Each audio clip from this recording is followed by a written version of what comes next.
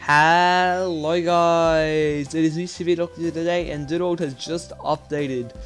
We have gotten a new runestone and new free skins you obtain just by playing the game. There's also been a new ranked mode and a free code which I'll show off later in this video. So first of all, there's been a new free skins added into the daily progression system. There was two skins added, one for the gold gifts and one for the blue gifts. For the blue gifts, they added the new mystery gifts bunny skin and there's a chance of it appearing only in the third gift. Now the third gift is the one where you get a random doodle from it, so now there's also a chance you can get that skin from it. I don't know the odds, but they are obviously going to be pretty low. Now as for the gold gift, Artifact Dramask was added into the pool of rewards. This also means that if you do get a gift from now, gift, ah, if you do get a skin from the gold gift from now on, there's a 1 out of 2 chance for the Dramask or um, the Spellblade hat tricks from last update. There's also a handful of skins added along with this, including another Chainsaw Man skin, which is for hat tricks. My personal favourite out of the bunch would probably be the new Professor line, but I'd like to hear what you guys also think is the best out of this update.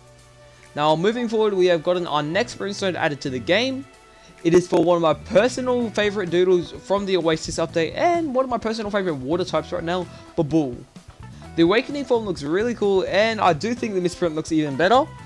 As for all awakenings, you could obtain it from the Runic Island at a very slim chance now since there's so many um, Runic stones.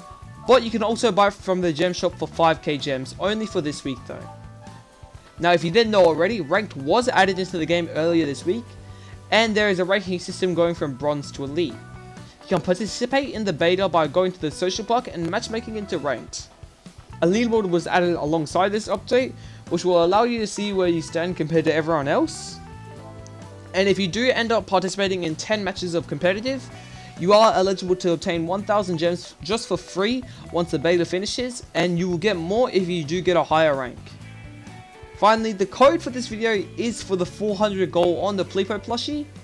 As always, head to menu, then special shop, then codes, and the code for today will be Pleepo Plush Reward 2.